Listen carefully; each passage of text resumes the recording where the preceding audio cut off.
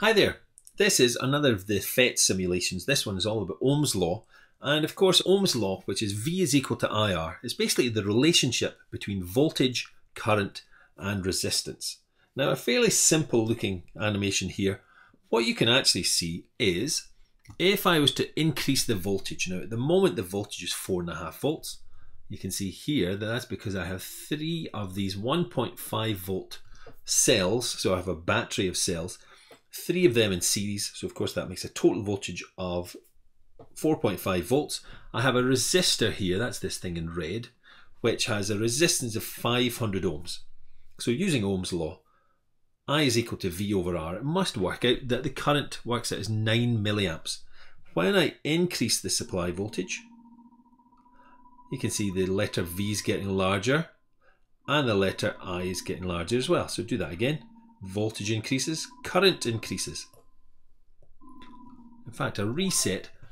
Now, what's the effect of increasing resistance? What effect does that have on current? Well, when I increase the resistance, you can see that current's getting smaller, both by looking at this value here, but also the letter I, which is getting smaller as R gets larger.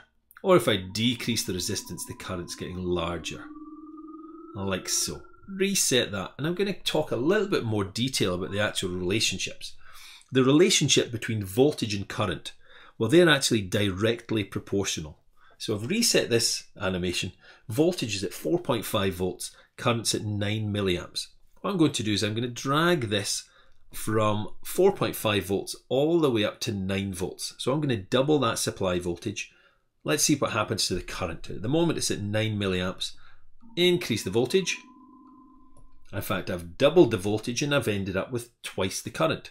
So I've doubled the voltage, doubled the current. That means that voltage and current are what's called directly proportional. When one of them's doubling, the other one's doubling.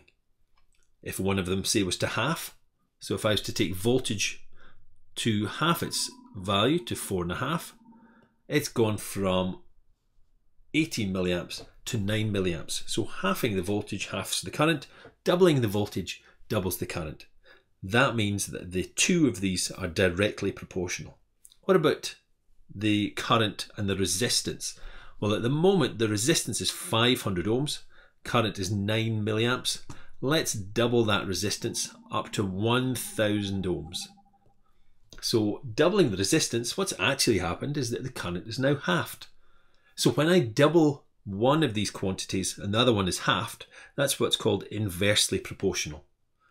If, however, let's start at the beginning again with the resistance at 500 ohms and the current at 9 milliamps, if I was to half that resistance to 250 ohms, what should happen is that the current would then double. Let's see if that works out. Now find that 250, there it is. So 250 ohms, I get 18 milliamps. So doubling the resistance, I get half the current, or halving the resistance, I get double the current. That's inversely proportional. Now, why don't you try this yourself? Just to get a better understanding of these relationships and to get a better understanding of direct proportionality, that's between voltage and current, and inverse proportionality, that's between current and resistance, because that's something that will come in very important in higher physics and also towards the end of National 5 as well, when we learn more about relationships between variables. But that's us for now, and we'll see you in the next video.